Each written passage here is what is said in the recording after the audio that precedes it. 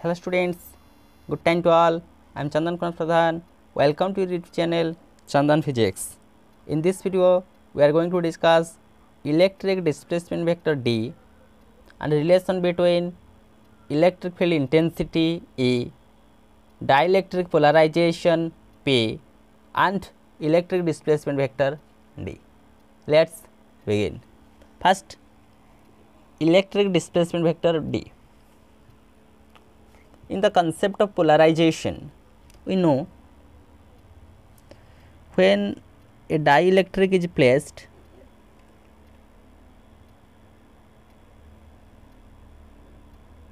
in between the parallel plate capacitor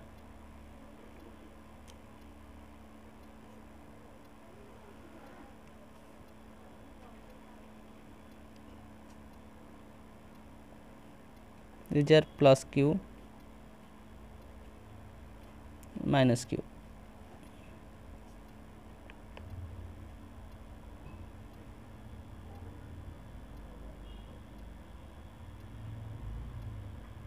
External electric field is applied. Therefore polarization takes place here one end negative charge developed. Another end. Positive charge induced. Therefore inside this another electric field generated. That is ep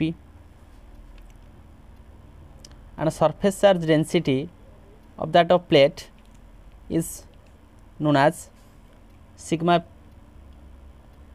f due to the free charge and surface charge density of that of dielectric due to the bound charge that is sigma of p. Here we take sigma free that is surface charge density surface charge density of free charge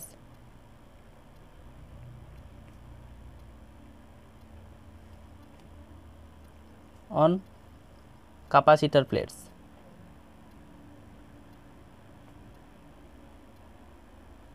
here the charges are free and sigma p is the surface charge density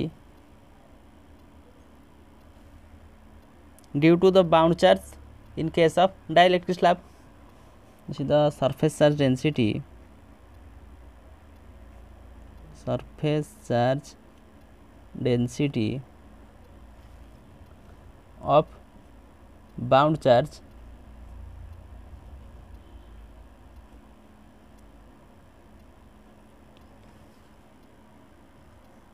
that bound charge is produced due to the process of polarization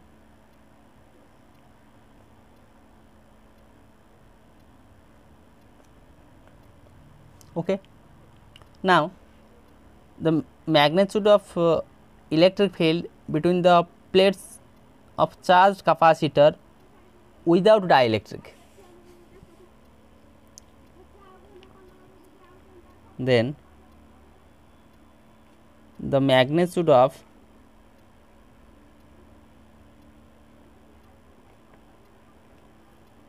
electric field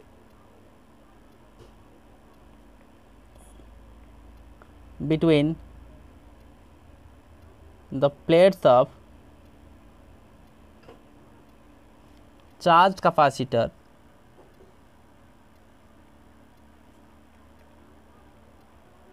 when there will be no such dielectric. Without dielectric without dielectric it is E naught is equal to here surface charge density due to free charge that is sigma free divided by epsilon naught permittivity of that of medium that is permittivity of free space. Again the magnitude of electric field intensity between the charge capacitor when the dielectric slab is present. Again the magnitude of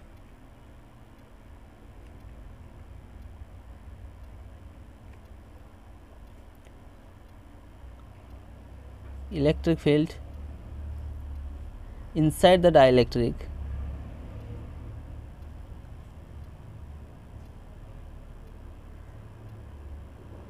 Due to induced charges. Due to the phenomenon of polarization charge are induced. So due to induced charges there will be electric field. Due to induced charges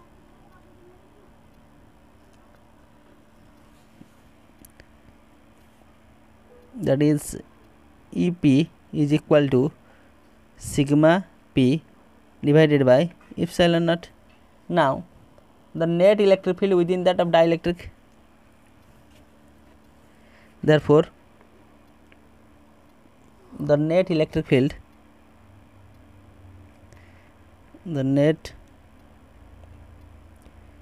electric field within the dielectric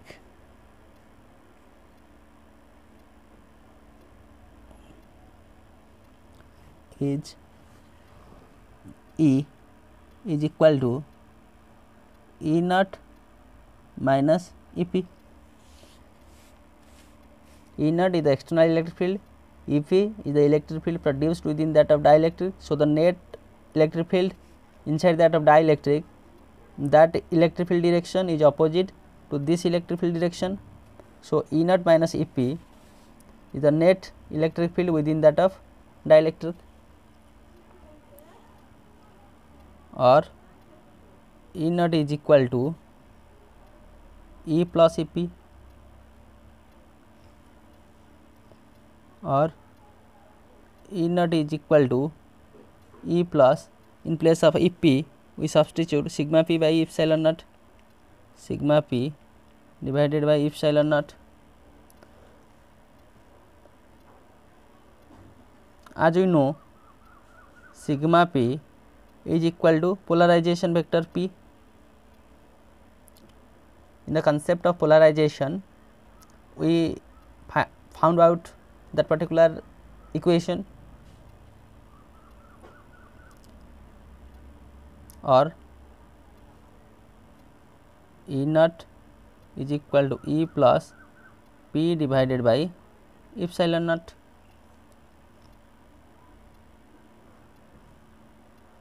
Taking the LCM and epsilon is multiplied here. So, that equation written as epsilon naught into E naught is equal to epsilon naught E plus P. In place of E naught, we write epsilon naught into in place of E naught that is sigma free divided by epsilon naught. So, sigma free divided by epsilon naught is equal to epsilon naught E plus P If epsilon naught epsilon naught cancel out. So, we have sigma free is equal to epsilon naught E plus P. Here we introduce the term as let sigma free is equal to d. Therefore, d is equal to epsilon naught e plus p.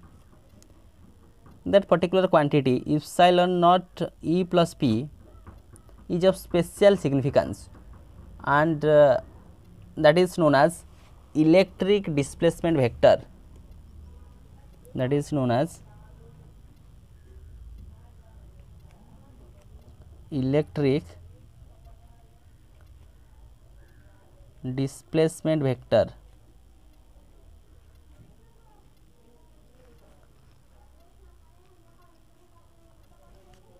As d vector is equal to epsilon naught E vector that is electric field intensity plus P vector polarization.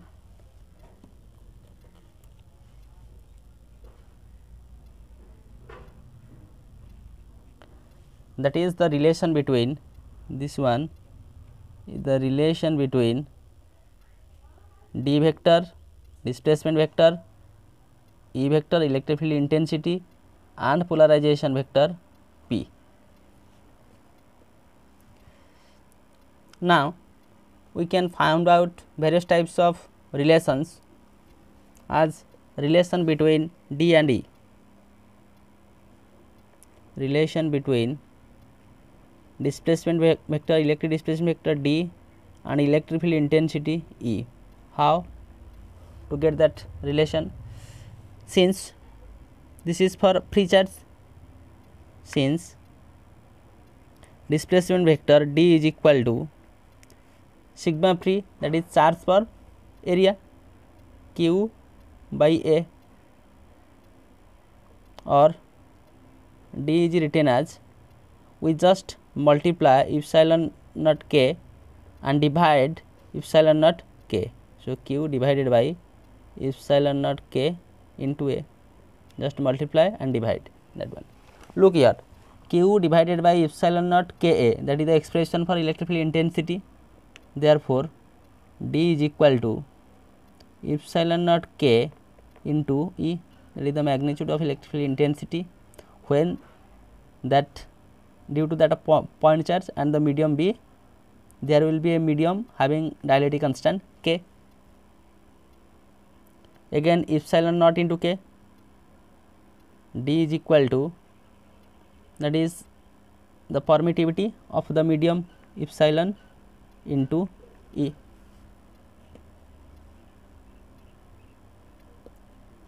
Or in vector notation d vector is equal to epsilon e vector epsilon is the permittivity of that medium. And the relation between d and e. Again uh, relation between e and p. Relation between e vector and p vector electric field intensity and polarization vector. How to calculate? Look at here in that particular equation E naught is equal to E plus P by epsilon naught. So, here we know E naught is equal to E plus P by epsilon naught taking the LCM and multiply epsilon naught to that side. So, epsilon naught E naught is equal to epsilon naught E plus P or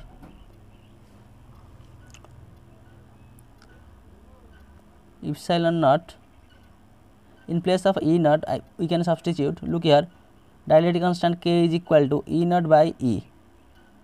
Therefore E naught is equal to K times of E that is substituted here so K E is equal to epsilon naught E plus P or P is equal to epsilon naught K E minus epsilon naught into E. Here epsilon naught taking as common we have K minus 1 into E k minus 1 into E that is the relation between E and P or in vector form P vector is equal to epsilon naught k minus 1 into E vector is the relation between k and E. Look here. Again we can take that expression in another way. If uh, there will be no dielectric is present. If no dielectric. If no dielectric. Therefore k will be 1 and the polarization vector p will be 0 that is the correct expression in the absence of dielectric there will be no polarization that the basic way to define that polarization is equal to epsilon naught xi e xi that is the susceptibility as we discussed in previous videos. So, in place of p we substitute that quantity epsilon naught xi e therefore therefore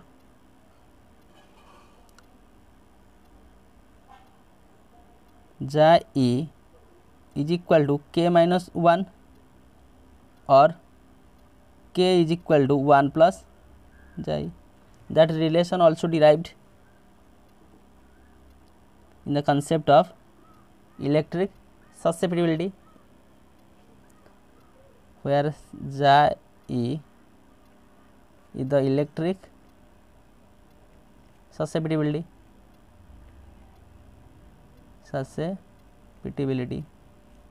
So, instead of one k minus 1 we can substitute xi e. So, p is equal to epsilon naught xi e. These are the relations in between E, P and D.